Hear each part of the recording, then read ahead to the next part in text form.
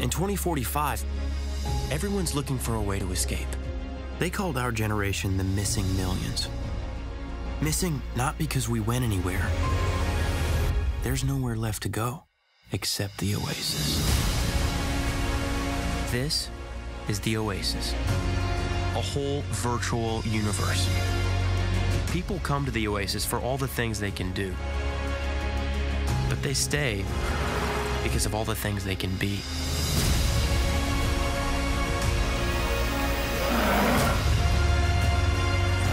I only came here to escape. But I found something much bigger than just myself. I found a cause.